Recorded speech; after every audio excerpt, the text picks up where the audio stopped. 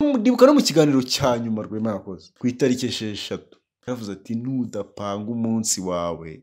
Cyangwa ngo, niba gahunda zawe upanga atari we wazipanze. Ntaba ari umubyeyi wawe ntaba ari umugabo wawe ntaba ari umugore wawe ntaba ari na mwarimu wawe ntaba ari na bosi wawe. Izo gahunda satani azazigupangira dukomeza gutanga rugari rwose. Abanyamakuru hari abavuze ko dufite ubwoba oya nta bwoba dufite. Turakomeye yesu ni we uri imbere yacu yesu abirimo. Nta muntu tujajinga ntihagire umuntu ujya kutwumva ko numva ko twavuze nabi. Reka tuvuge ngo atubabarire ubwo. Mugani wa wenda ubwo yabyumvise uko atubabarire ariko muri make ubwo kuri ubu ngubu rwose ntawe ntawe ducira urubanza urumva? Buri wese akwiye kuvuga ibyo ashaka mugani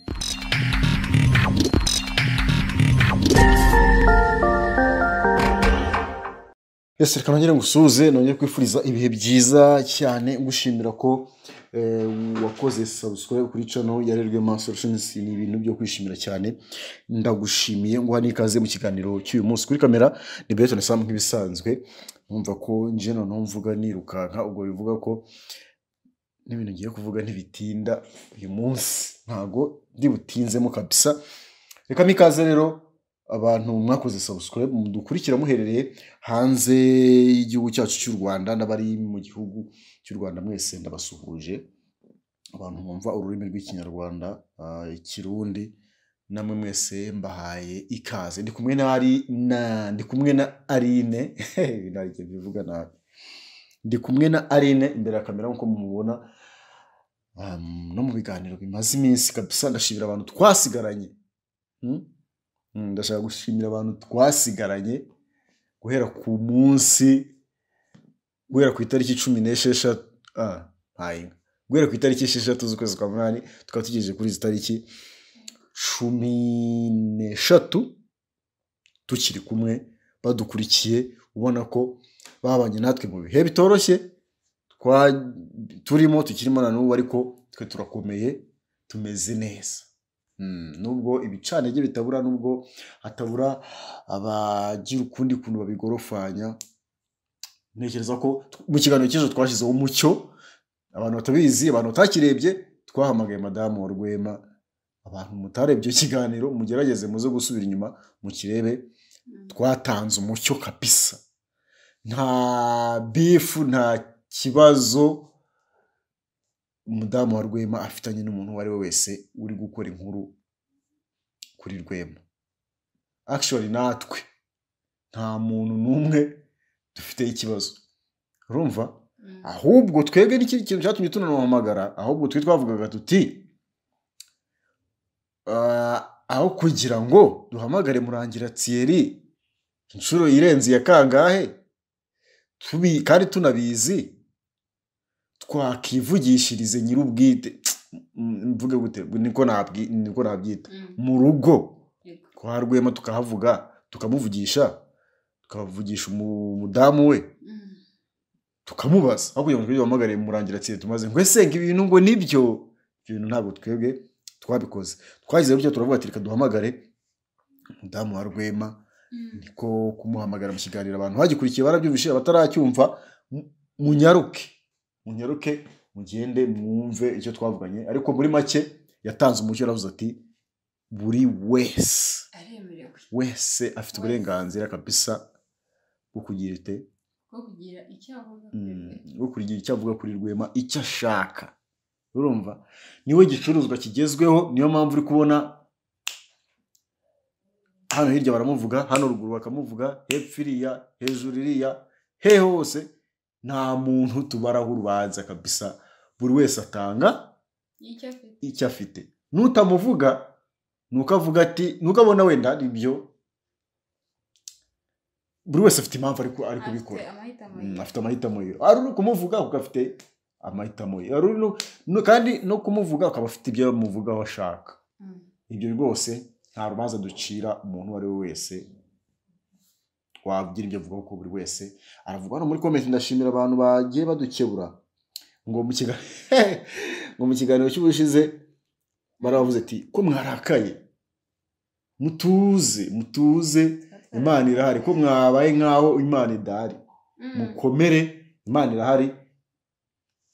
Rwema ibintu azabivamo akomeye. Kandi koko wa mugani buriya rwema yajyaga atuganiriza Ah.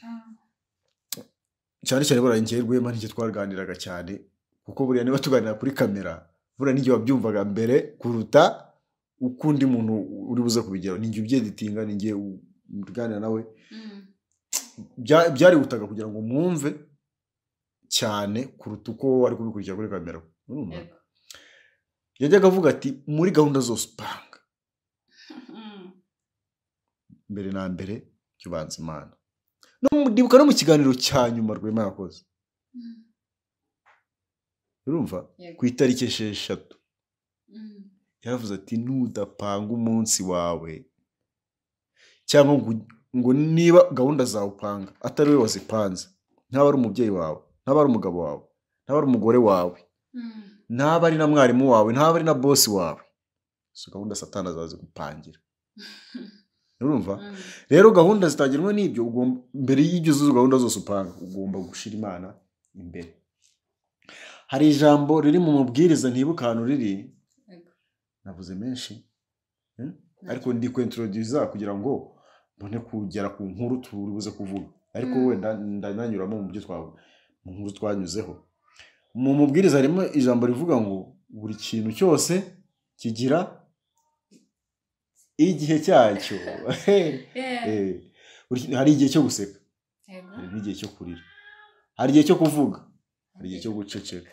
Hari igihe cyo kubyina. Hari n'igihe cyo kwicara hari igihe cy'umwijima. Hari n'igihe cy'urumuri. Hari igihe cyangwa cy'umucyo. Mm, se zimwe byose kimwe. Mm.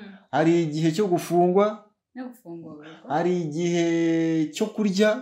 No gusoza urumva ko ni bibiliya kandi yo ni imana yabivuze Mm. rero ntekereza ko ah, rwema ntekereza ko ibyo ari byo byose yari yarabivuze Mm. agenda mu magambo y'imana twajyaga tuganira mwese mwarabibonaga ibyo ari byo byose byose ni igihe cy'imana Igihe. ni igihe cy'imana kandi turi gusenga tumeze nabi Mm. Mm, amasengesho tumeze nabi ibyo ari byo byose imana ifite icyo ishaka tutazi nk'abana b'abantu tubona ibyo ari byo byose kandi ubona nk'ibintu tugenda tuganira ari byo bigenda bigaruka nanone Ah, Mm. nanakwakiriye kwanza sibyo wenda utaza kwifata utaza kugira ngo naze ko kuvuga Mm. Mm, kandi turi, kumwe hari bushize dukora ikiganiro ntabwo nibuka neza ariko twavuze ko buriya umubyeyi kirakora ashobora kugikora wowe nk'umwana ukababara. Ukavuga uti se ibintu papa bakora. Nk'ubu ngubu aba ari mu biki sibyo Mhm. ariko papa wa nyamara ari kugupangira purani cyangwa se basi ari gutuma hari ibyo uhomba kugira ngo ugire ibindi uzunguka. Mm. ibyo ari byo byose ni igihe cy'imana imana ikora ibyo ishaka mu gihe cyayo niko bibiri ivuga. Imana kandi twizeye ko izabikora neza. Turayishimiye. Ngayo nguko rero. Nta muntu tujajinga ntihagire umuntu ujya kutwumva ko numva ko twavuze nabi. Reka tuvuge ngo tubabarire ubwo. Mugani wa wenda ubwo yabyumvise uko yabyumvise dukomeza gutanga rugari rwose. Abanyamakuru hari abavuze ko dufite ubwoba. Mm. hari abavuze ko nta bwoba dufite. Turakomeye yesu ni we uri imbere yacu yesu abirimo kigezweho ku isoko. Gihenze ntajya ryaduka inkweto ukabona abana b'urubyiruko bose. barayambaye. Bara- Baba cyangwa se sitire cyangwa iyo nkweto muri umucuruzi utayiranguje Hahombye. shaba ahombye ndakurahiye. Mwumva? Rero niko bimeze no ku mubyeyi. Mm. rwema nta ni we gicuruzwa gihari. Uri kubona ko cyunguka agomba guhita arangura agacuruza. Sibyo? Eh, nta rero buri wese akwiye gucuruza uko ashaka. Twabitanzemo no mu rugero rwo guteka. Mm. buri wese akwiye guteka akwiye guteka umuceri uri ku isoko agomba kuwuteka uko ashaka. Hari ukaranga hari utogosa hari ugira ute? Buri wese arabyemerewe. Hanyuma rero twikomereze. Ah, ari ntekereza ko ubushize twavugaga ku nkuru ya yago ariko hari inkuru nabonye sani ndayibona we yago akomeje kuba isereri ntaze kunyumva nabi akomeje kuba isereri mu bantu ariko ndakurahiye a- abo bita aba big energy baramwica baramerera nabi umuntu wese umuvuga nabi baramumerera nabi. Hari uriya mu uriya musore wawe wamwibiye cano yego. Sinzi ukuntu nanyuze ahantu mbona ari kwifata videwo avuga ati uriya muginga. Mhm. wenda ntiyavuze umuginga ariko wabona agase asa nkaho ariko ashaka kubivuga.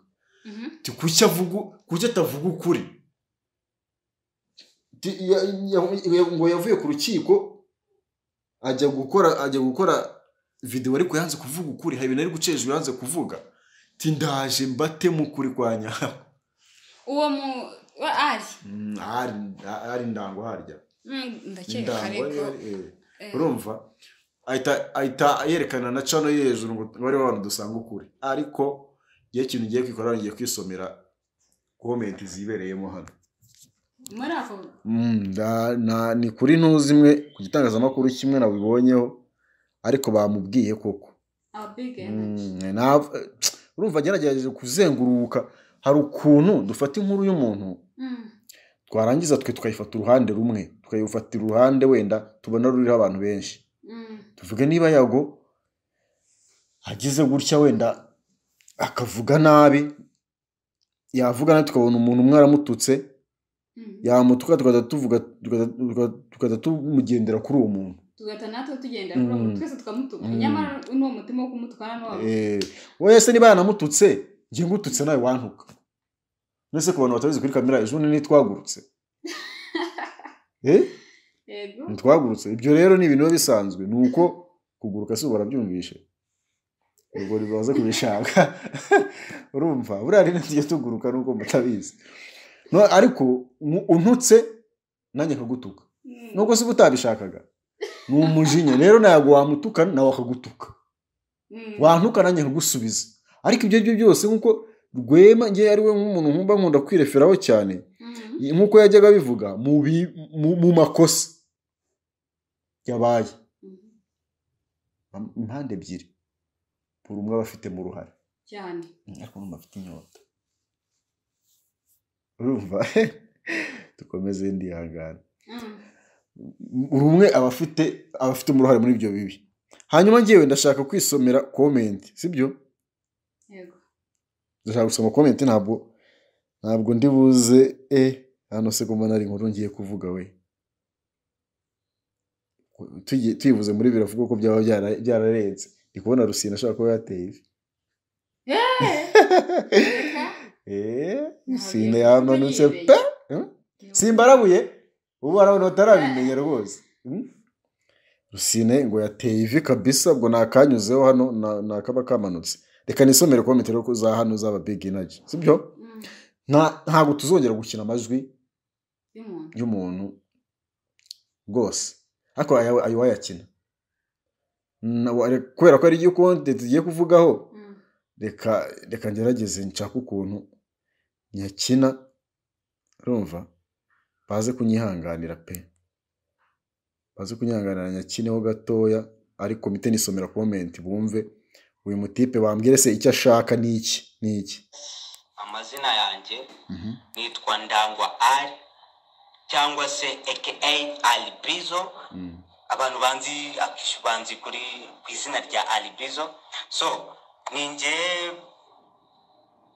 kitwa ko natwaye cano ya yago tv show. Kandi koko ni nako bimeze. Abenshi mumaze iminsi mwumva iyo saga ko tv show yibwe. Ego ni njye wayitwaye kandi nagiye mu nkiko narakatiwe mwarabibonye. Nabonye barabishyize ku mbuga nkoranyambaga. Nakatiwe imyaka ibiri isubitse. So natashye ejo bundi ejo bundi ni bwo natashye ndashima imana ko ndi mu gihugu. Alihamdulillah imana niyo nkuru imana niyo rurema. Ndi mu gihugu right now. Gusa mu gutaha hagati aho nikojeje kuri youtube. Ndeba ibiganiro nyiri kwibwa nyiri kwibwa cano yakoze bibiri narabirebye byose ndabirangiza numva ibintu ari kuvuga bihabanye n'ukuri guhari. Birahabanye cyane cyane ariko bihabanye n'ukuri guhari. Sinzi impamvu ari guca ukuri hejuru ari adashaka kuvuga nyine uko ibintu bimeze n'uko ibintu byagenze byose. Sinzi impamvu. Gusa niyo mpamvu nanjye nahisemo kumunyomoza nkavuga ukuri kose guhari ko ibintu byose byagenze. Kugira ngo biriya bintu bibeho kubaho byo byabayeho. Ariko sinzi impamvu adashaka kuvuga impamvu byabayeho. I don't know why. Gusa niyo mpamvu nanjye nashatse kuvuga ukuri. Ukuri rero ndakuvuga hano hejuru. Urabona ino cano ni alibizo ino cano ukuri kose kuraba kuriho nigareke kubabeshya okay uyu mujama rero nge yanyishe kabisa. Urumva urumva oh sorry. Urumva we icyo icyo ashaka kuvugamo hano ni ukwirinda kugira ngo mumwihera sabu nabonye afite abantu igihumbi na mirongo. Nibo bantu afite kuri cano yiwe. Buri wese ajya kubabwira ukuri. Ariko nkibaza ukuri aje kuvuga hano aje kubwira abanyarwanda atabwira urukiko kugeza aho bamukatira imyaka ibiri. Isubitse. Nkibaza ubwo kuri ni bwoko ki? Uhasanga uko kuri Mhm. wenda nk'ahariya mu rukiko nta Mm. kintu gifatitse yari kwerekana. Agashobora akabireka. None se ibyo ari byose mu- rukiko hakora ibimenyetso. Ariko se nawe nawe araduhagarika ahantu habiri. Turabwirwa n'iki kuri agiye kutubwira kuri Wa yo mugani wenyine kuri iyo ntuza yiwe. urumva? Mm. uko kuri agiye kutubwira turabwirwa n'iki ko ari ukuri? Wasanga bamugana none ku rundi ruhande. Mm. nubwo mvuze ngo wasanga yaranze kubivuga ngo nta bimenyetso. Mu wowe wageze mu rukiko wakanga kuvuga ibintu uzi ko biri bugukize? Ubwo ubwo utekereza nk'iyo myaka yawe mukatira idasubitse? We yanze kubivuga. Ntabwo bishoboka ntabwo waba wageze imbere y'urukiko ngo ubu uzi ukuri kuri buri uba ufite ibimenyetso biri bukurokore. Ntuceceke ntubivuge. Ntibibaho wumva se bishoboka? Waba uzi ko ugiye kumanuka epfiriya Mm. warangiza ukaza kuvuga ngo ugiye ngo ukuri nzakuvuga nyuma n'imfunguro utese. Kuba uvuga ati nakuvuze se na nyiri kundega nawe akajyamo kuko nyuma sinzi niba yabivuze yavuze ati njyewe ntabwo umuntu wanze kum- kumbabarira washatse kujya kundisha ibigori hariya hepfo nanjye nakwemera ko akomeza kubeshya abanyarwanda. Ubu waba uzi ko ngiye kukwicisha ukangirira umugabo ati "Aceceke." neza ubu uruhande rwe yari ari kuvugaho yari uruhande rwiwe. Mm. cyangwa yari kuvuga ku ruhande aravuga ku ruhande rwe nyine ko afite ukuri. Mm. aziranyeho na yago ariko akaba yanga kukuvuga cyangwa uko kuri ni ukwa ziriya ni uko ari amatiku eee byashoboka wenda ayo nanone matiku yawe urumva yamurengera mu rukiko ati wasanga ariyo ashaka kuzana. Mhm. uko uko ariko kose twe ntabwo tukuzi. Sibyo? Mm. ariko nanone umugore wawe ntabwo uko kuri ushobora kumurengera.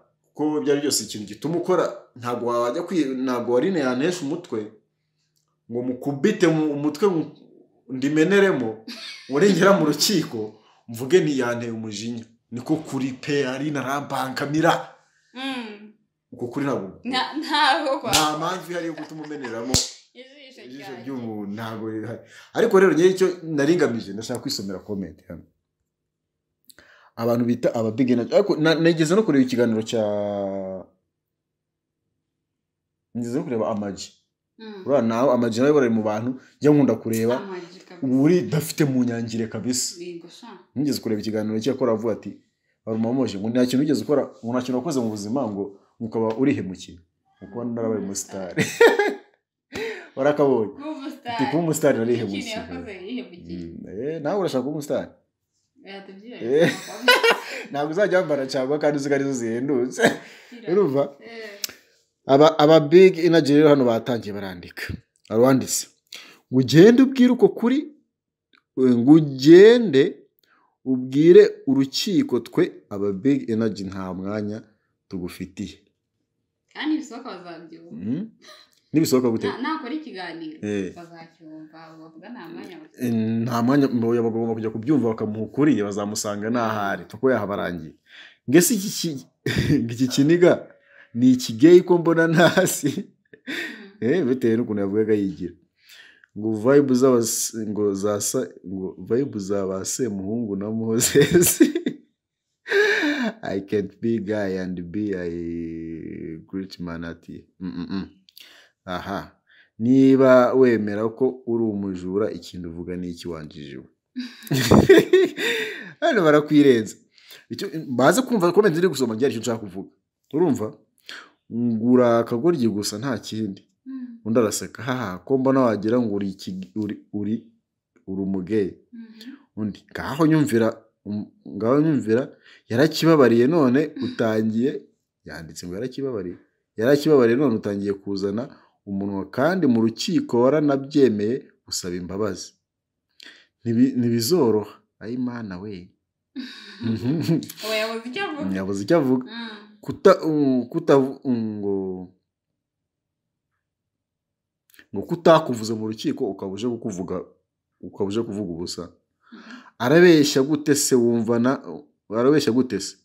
Wumva nawe ubwawe ubyemera ko uri umujura? Ahita amutuka igitutsi navuga. Mm. ngo wagira ngo ni igitinganyi? Urabona ukuntu kirya? Ngo eh hari uwanditse arasesereza ngo biragoye kukureba uvuga kugeza video irangiye. Ngo ubwo se n'abajura bagira ukuri ko numva aje gutanga ukuri eh ngo se ubwo se abajura bagira ukuri ko numva nawe aje gutanga ukuri atagira? Mbere yo kuvuga ibindi muba- mubanze mumbwire ibi- ibintu byose We, yavuze.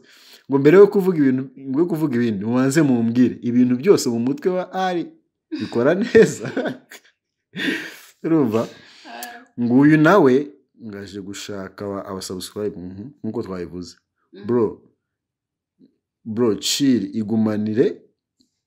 Uku kuri uta- uta- utabwiye urukiko. Ntacyo biri butumarire pe. Aha. Abandi baje bandika big energy big energy big energy urusaku urasubirayo gaceze uyu mutipe ko hirya nka ko hirya se kandi. Ibintu byinshi. Ni comment Ah. nyinshi kabisa ntabwo ntawumwumvise ntawe mwumvise ikigaragara. Ariko nk'uko twavuze ntabwo nje kuvuga ngo ukuri atavuze mu rukiko ngo agakwigumanire nanjye ndaza ahantu habiri. Mhm. sibyo? Cyane. Nanjye ndafata gutya. Impande zombi. Mvuge ni ibi bintu byatewe n'iki? Kuko ibyo byose ntabwo ndi bwifate ngo mpite ngo mfate cana ya yago Mhm. gutyo gusa. Mhm. ibyo ari byo byose harimo ikintu. Hari impamvu hari impamvu. Ko ari byo bintu navugaga ko ntawe wivuga amabi kuki yago atari kuvuga impamvu iri gutuma baramutwaye. uyi- bayica bayitwara. Cyangwa se rwa rwango wavugaga ahora avuga ngo baramwanga akanabihimbamo n'indi ndirimbo urwo rwango rwaziwe gusa umuntu arifata akakwanga gutyo gusa? Ntabwo umuntu yakifata ngo ntabwo birasha biragoye Mm, mm. kwifata ngo unyange nta kintu turi gupfa. Ntabwo wabura akantu. Njye nagukoreye. Mm. ibyo ari byo byose rero yago nawe hari ukuntu ku ruhande rumwe ari kutwereka ntawe uruhande ishyirega rwiza habi aheza ariko wareba. Mm, saraza nkivuga amabi birashoboka se. Ese waza ukavuga ko ugira kwa kundi kandi uzi ko waza ukavuga nta nta n'ubwo ushaka ko mbivuga. Urumva? Ntabwo ushobora gutuma nyine mvuga inenge yawe kandi ubizi ko ufite n'ibyiza. Mm. ugomba kuza niyo mpamvu ibyiza. Niyo mpamvu abantu bitera mekapu imbere ya kamera nanjye nawe nitera. Nayo nitera na yo bitera ariko Mm. urabanza nuko ukanitunga mbonye ndebye. Oya nuko na yo niba ugira impinduka. Mm. Rero impamvu n'abantu bi- bitera nanjye ngo bitera komenti impamvu n'abantu bitera mekapu imbere ya kamera Mm. kugira ngo bagaragare na- kuko ntabwo ari ukugira ngo base neza Ego. ni ukugira ngo babone samuhawe ni neza ukugira ngo base neza ariko ni ukugira ngo bagaragare uko batari. Eh, isura iracuruza da. Ubu nawe uramutse umanutse ukajya kwa yago cyangwa ukajya kwa isindi eh koko oya oya batabikoraho ni uko njyewe njye we wowe ni ukubanza ukajya manuka epfiriye mu bishanga ukiyogoshesha niba ari ukwisukisha hariya nko kumva ngo izo n'undi ko nu- hano baba basanzwe bambaye wenda ho hari abandi bambona batari banzi ngo n'umuntu wakwemerera gusukisha wahita umwibutsa mugahita gusukisha Kare ngana. urumva urumva rero nayago ntubyegereze umutima ntubyegereze umutima.